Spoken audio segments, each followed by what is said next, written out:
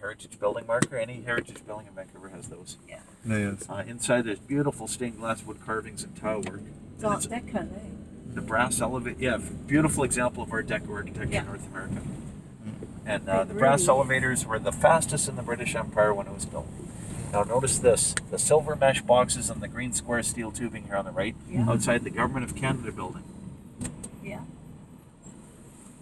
They move in time with the elevators in the lobby. Oh, when the.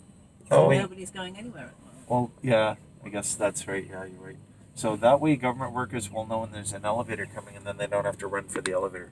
Uh-huh. Because in, in Vancouver, it's rare for government workers to run for anything. oh. And there's a better look at the Fairmont Hotel Vancouver there. So So that was built for the railway. Okay. There's a number of these hotels across Canada that were built for railway guests after the Transcontinental Railway was built. That's what the original Fairmont hotels were. They were railway hotels. There was the Chateau Frontenac in Quebec City, the Banff Springs Hotel in the Rockies, this one, the uh, Empress Hotel in Victoria, all examples of the old railway hotels. To this day, they carry on the, the tradition. People that take Via Rail, Mhm. usually if they're in a big travel group, they'll stay there. Oh, okay.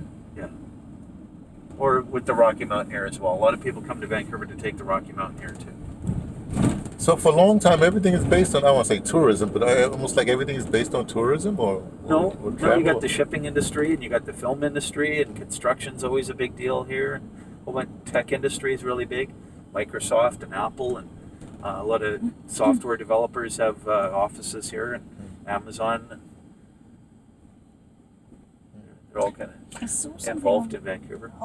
Television news this morning because I was trying to work out what I was watching. I think I was watching an American program, an Mhm. American channel, and they were talking about Amazon doing building housing in Seattle. Oh, okay. Amazon are putting out of their billion dollar something, Nice. or other fund. Yeah. They're building housing uh, for um, uh, social, like social housing. You know, That's cool. which I thought was interesting because Amazon it's nothing but bad press as far as I can, as, as I've seen. Hmm. So that intrigued me. Yeah, that's pretty nice that they're Yeah. doing that. I wouldn't be surprised if they're involved in some of the uh, container developments for the homeless here, Yeah, maybe. because I know that's a big program right now. They're building them all, all over the place.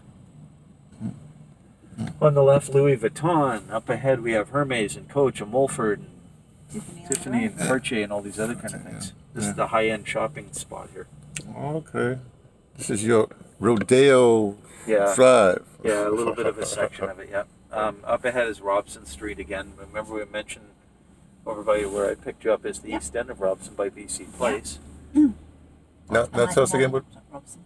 Sorry. tell us again what Robson is famous for. Uh, Robson Street is known as our iconic shopping street. Oh, okay. So we're going to see the popular section now.